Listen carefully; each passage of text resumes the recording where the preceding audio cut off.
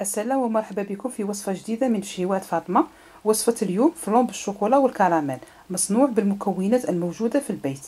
هذه أول مرة نعمله بهذه الطريقة. هذه الوصفة هي نفسها اللي عملتها من قبل بالنسبة للفلون بالكراميل أضفت لها شوكولا دايبة مع لا كريم فريش والذوق رائع. غادي سنمر مباشرة إلى طريقة التحضير. بسم الله.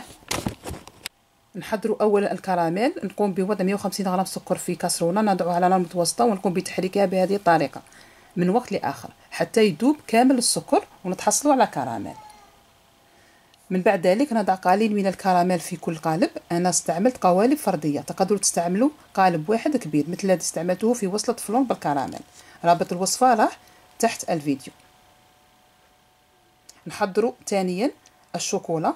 نخلطوا 100 غرام شوكولا مع 100 مليلتر كريمه طازجة أو حليب نضعهم في آن بول ونديروهم في ال micro-ondes أو bain-marie حتى تذوب مليح الشوكولا. نقوم الآن بتحضير ال flan. نحتاج بالنسبة للفلون ثلاث بيضات 80 غرام سكر ما يعادل 7 مغارف كبار سكر عادي la vanille سائلة أو غبرة وهي الشوكولا اللي ذوبناها. ونحتاج أيضا 500 مليلتر ما يعادل نصف لتر حليب ساخن. نبدأ أولا بوضع السكر مع البيض. نخلطه شوية.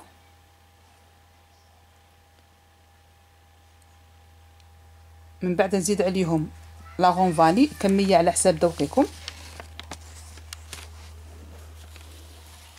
ونستمر في الخلط. من نخلطو مليح البيض والسكر واللافاني غادي نزيد لهم مزيج الشوكولا.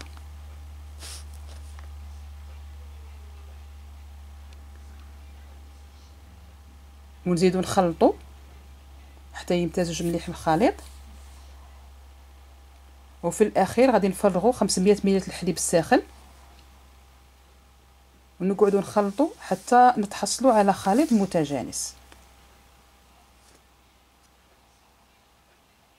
نحضروا القوالب نتاوعنا. ونقوم بملئهم بالمزيج تاع الفلان. هذه الكمية عطاتني حوالي ست حصص. نعمروهم كامل. ومن نعمروهم ونكملو غادي نوضعو نوضعوهم في بلا يكون عامق. هاولا بلا نقوم الآن بتفريغ الماء الساخن داخل البلا غادي نعمرو فقط ربع البلا. ونقوم بطهيهم في فرن ساخن على درجة حرارة ضعيفة.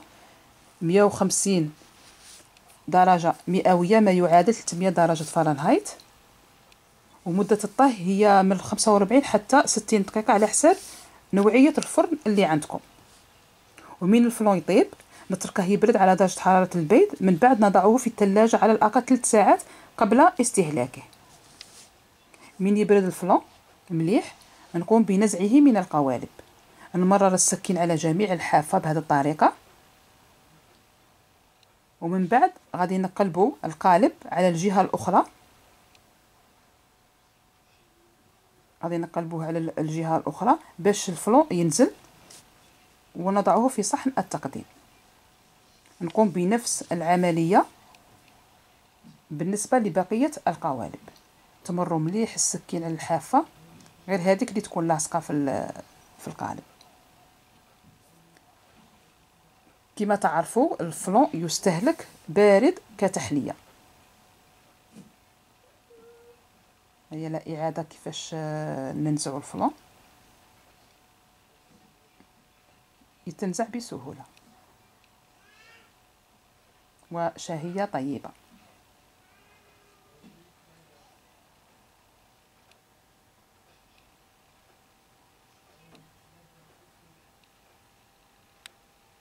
يجي بنين وجاي عنده لوغو كيما لاموس والشوكولا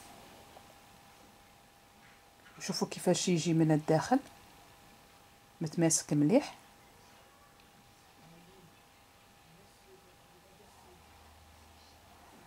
وصلنا إلى نهاية وصفة اليوم ومع السلامة إلى الوصفة الجاية.